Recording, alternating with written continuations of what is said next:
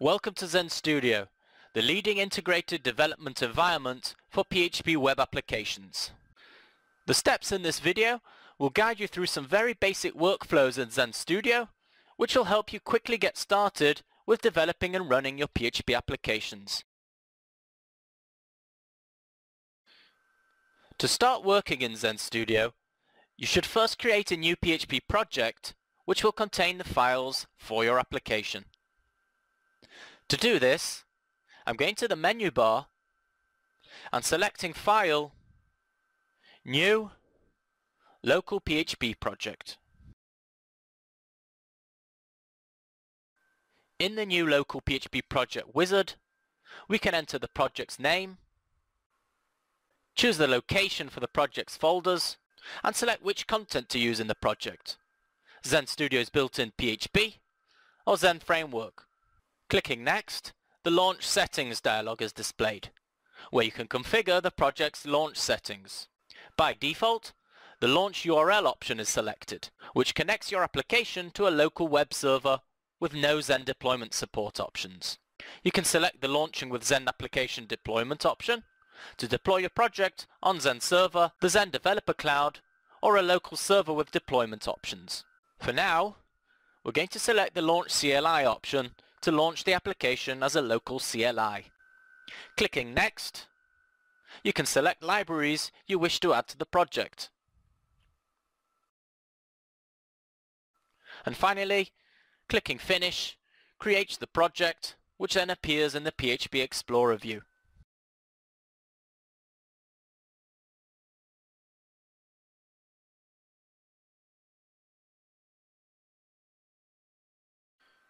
You can now start to develop your application by creating PHP files in your project.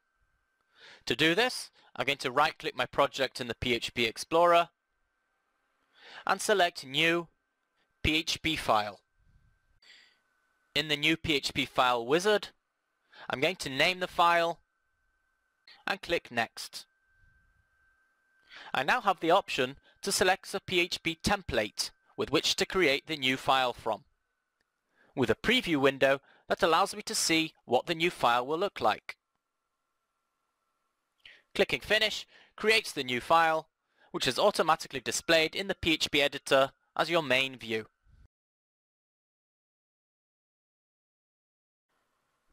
Now that your project has a PHP file, you can use Zend Studio's PHP element creation wizards to quickly and easily create PHP elements.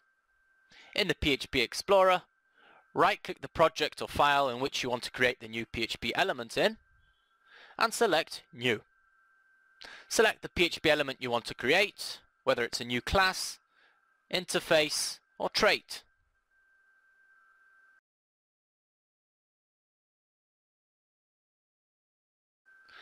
Enter the required details for the new element, and click Finish. Your new element is created and added in the selected file. It also appears in the outline view, which will slowly be filled with more and more elements constructing your code as you proceed with your development. As you type code, Zend Studio's Content Assist will suggest code options according to the context of the code. You can select a required code string to quickly insert it into your script. If the Content Assist window does not pop up automatically, press Ctrl space.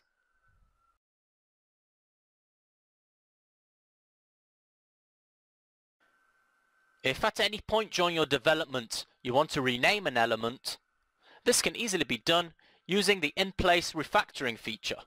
This will apply the rename operation to all occurrences of the required element so that all links between elements are maintained. To rename an element within the editor, place your cursor on the element to be renamed, right-click and select Refactor, Rename. Enter the new name, and press Enter. All occurrences of the element name are automatically updated. It's good programming practice to comment all functions, classes, and methods in your code. This helps both the developer and others who might look at the code to understand its purpose. Simply add a double slash and comment away.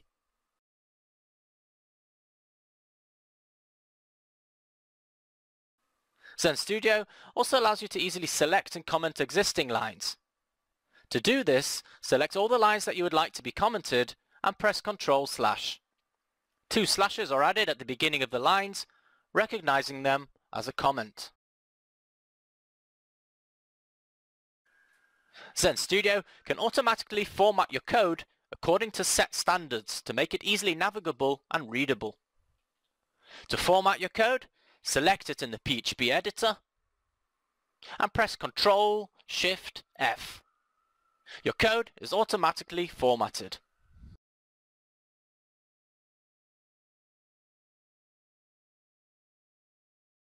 Finding and replacing code can be troublesome in large files. Using Zend Studio's Find and Replace makes this process easier and quicker. All you have to do is press Ctrl F enter the required search string in the find field and a required string to replace it with. If necessary, configure the settings under the Direction, Scope and Options categories.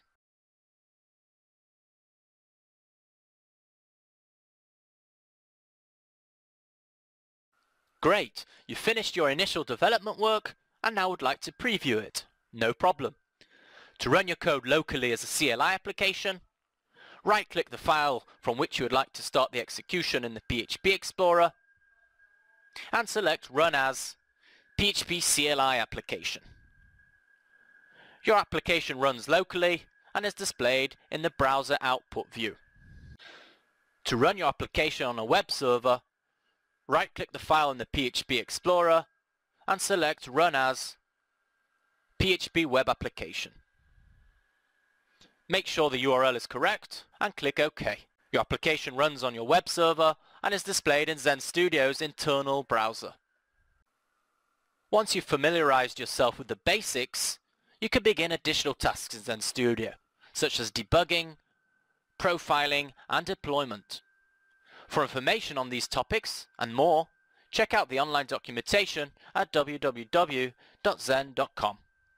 Thanks for watching.